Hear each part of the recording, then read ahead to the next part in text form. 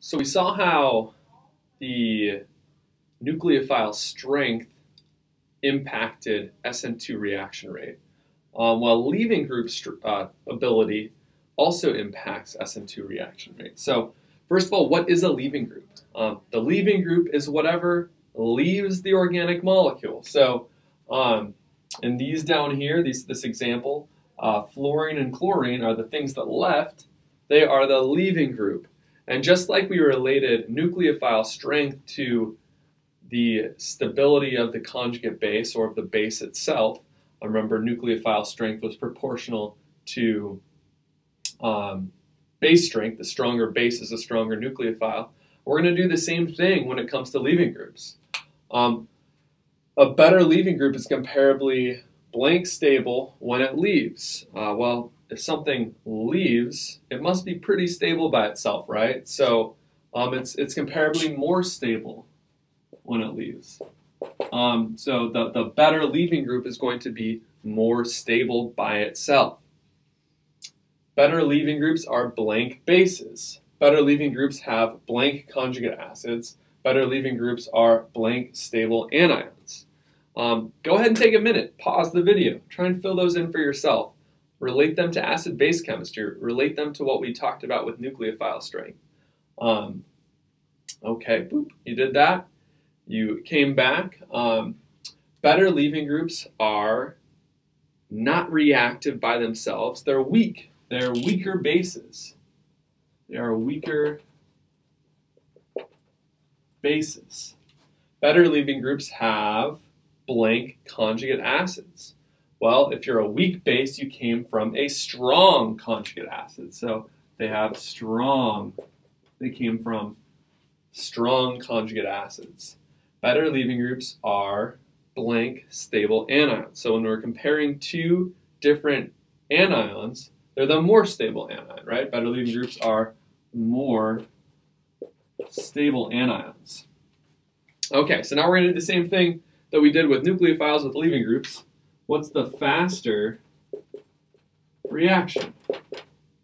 We have two reactions down here. They have the same nucleophile. It's a generic Nu minus, so it could be OH minus. It could be um, O minus with a, a carbon tail on it. Same nucleophile, only thing different is the leaving group. So which leaving group is a better leaving group? Uh, well, let's think about the periodic table real quick. So the periodic table has fluorine right here and chlorine right here. Um, so um, take a minute, decide for yourself which is the better leaving group. Rationalize it for yourself, and then come back. All right, you did that. So the better leaving group is the weaker base. It's the more stable anion. So which of these is a more stable anion? Um, well, uh, when things are in the same group, what we learned in that acid-base chapter was that if they're in the same group, if they're in the same column of the periodic table, the larger surface area is what makes it more stable. So chlorine is, is farther down, it has a larger surface area than fluorine, so chlorine is actually more stable by itself. So this is more stable than F minus because of that increased surface area. Um, we can also do the same rationalization uh, as far as their, their base strength as we did previously. So this would come from HCl, and this would come from HF. Our problem here is that we do know this pKa. It was on the chart. What's the pKa? You should be able to tell me. Oh, yeah, yeah. I think I heard you. Uh, it's negative 7, I think. It was kind of hard to hear you from all of his hair blocking my eardrum. Um, problem here is HF, we don't actually know HF's pKa. HF's pKa is, is kind of an unknown. Um, it, it's known in reality, but not it's not on that table. The pKa of that is 3. So this is the stronger acid.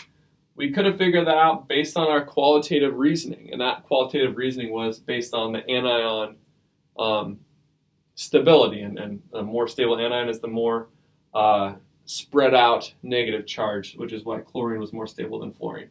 Uh, chloride is more stable than fluoride. Um, so again, we relate it to acid-base chemistry. We're going to see another example right now.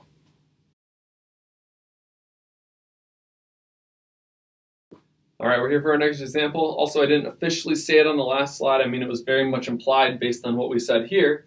Um, but the, the bottom one, the one with the Cl leaving group, was the faster reaction because Cl minus was more stable by itself. What about these ones? Um, so we have fluorine as our leaving group versus OH2. Um, so which of them is the better leaving group? Um, well, uh, we would compare the stability of H2O versus F minus. And how are we going to compare those two? Um, so think about that for a second. I'm going to do a little bit of reorienting the board. And then, so pause it while I do that, and then come back. I reoriented the board by just putting in the text on the bottom of page 5 on here. Um, F minus, the conjugate acid. So, so we're trying to figure out which of these is the better leaving group, fluorine versus OH2+. plus.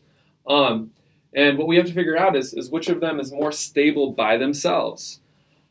And we know that we can relate their stability to um, acid-base chemistry. That's what we've been doing all along. Um, so F minus's conjugate acid is HF. H2O's conjugate acid is H3O plus. Um, HF, we just learned uh, in, the, in the previous example that it's it has a pK of 3. And this one you guys should know. What's the what's the pK of H3O plus, hydronium ion? Yeah, good job. It's minus 1.7. So this is the stronger acid, which means that this is what? The better or worse leaving group. Jot down your idea. Better or worse. Stronger acid means that the conjugate base is more stable, meaning it's the better leaving group. So this is the better leaving group. So this was the faster reaction.